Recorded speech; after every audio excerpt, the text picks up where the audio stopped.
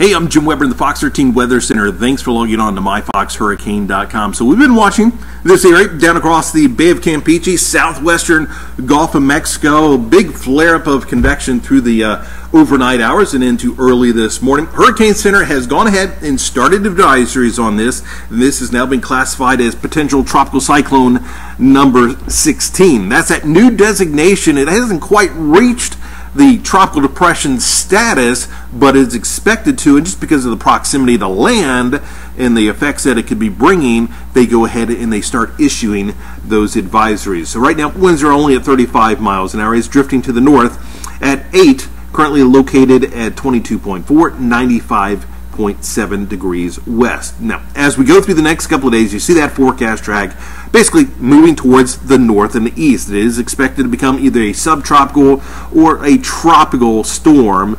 And next name on the list is Nestor. So, what we could be talking about as we go through Friday evening heading into uh, Saturday morning is a landfalling tropical storm up across the uh, panhandle. And what that will end up doing is just bringing a lot of rain across central Florida. That's going to be our biggest problem. Just a lot of rain, some gusty winds from time to time as we go through Saturday. Computer models, uh, pretty good agreement. You always have those outliers, but you're seeing a fair amount of agreement basically across the central to the western side of the panhandle.